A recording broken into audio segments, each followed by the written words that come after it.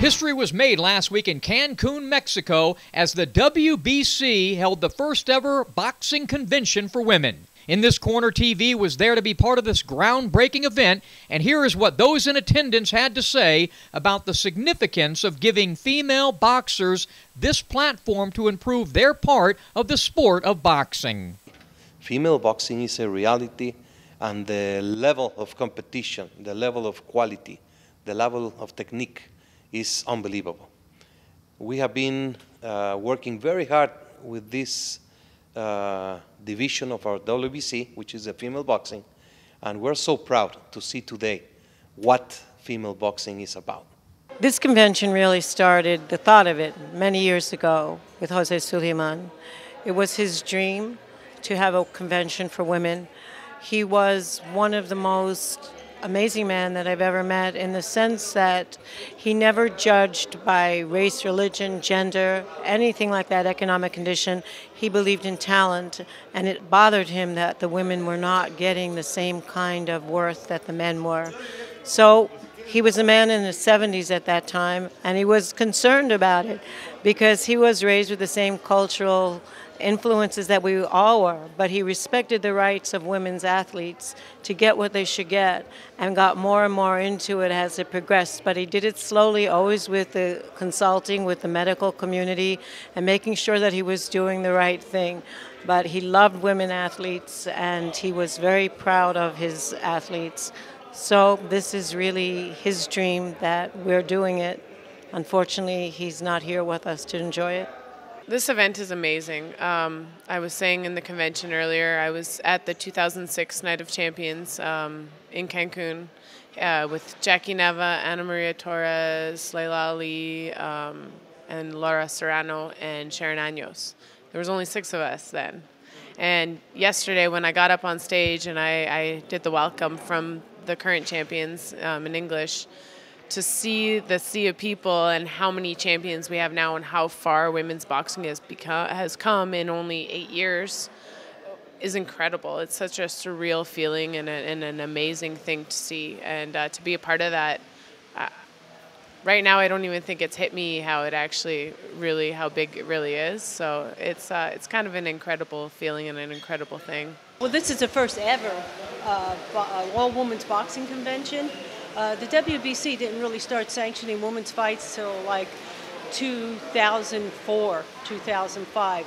Uh, what that means is uh, they the girls could not fight for the WBC title. But I thought that was really great. But to have this convention is very historic, and hopefully it will spark the interest uh, in America to have more women's uh, fights on the major boxing uh, cards like Top Rank, Golden Boy. Uh, also, uh, problem is is that we lost a lot of our local promoters, which is tough for also for the male fights. So that's another issue that uh, another problem that the inactivity of women's boxing. I'm so happy to be here for this auspicious occasion. It's what I feel it is. Uh, I've been boxing for 20 years. I've seen the difference in the sport. When I first went into the sport, I actually have uh, can say that I was at the first USA Nationals for women as an amateur. I won the featherweights in that nationals. So I've seen the sport grow, but I don't feel that it's grown enough. It has grown a lot more on the amateur side, which is definitely what we need. We need more women in the sport, but it's not grown on the professional side. So this convention is that platform that we need to for us catapult the women, the sport, to a higher level. It allows all the women to get together, network, talk about what issues we can do to bring it to a, a higher level.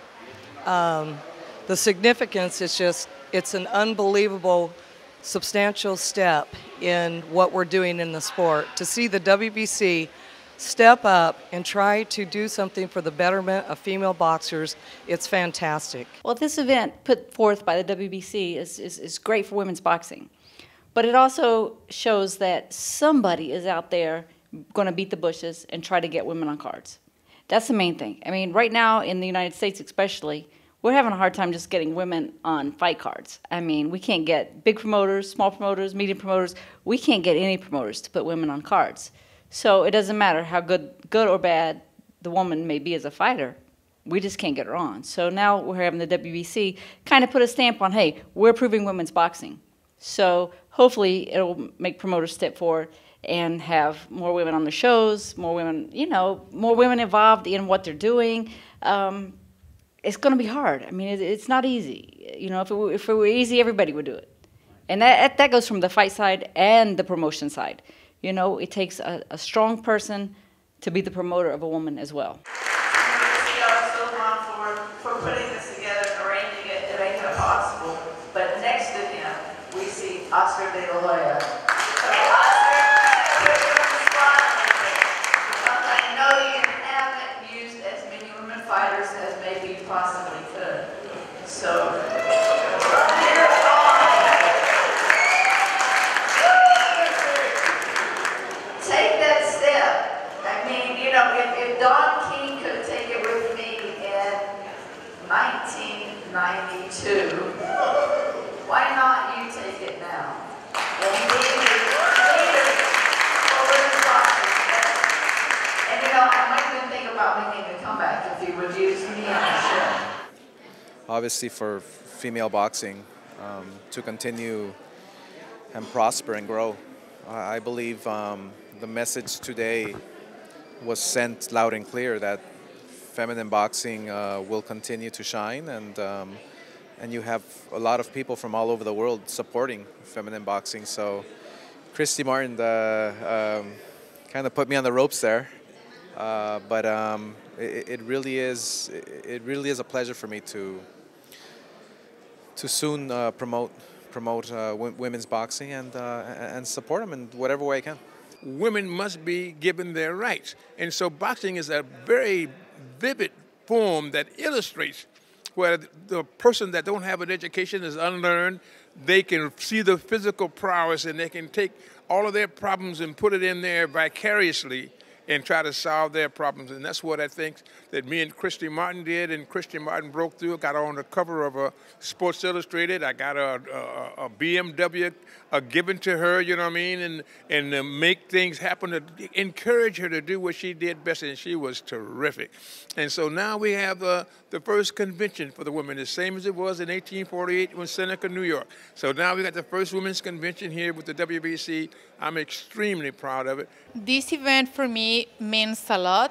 Actually, it's very meaningful because uh, it's uh, the very first one ever event like this kind, and uh, I'm just pleased that I'm here. I'm living like a dream for me. It's like, am I awake? Am I sleeping? What is going on? I'm just enjoying this dream. This is um,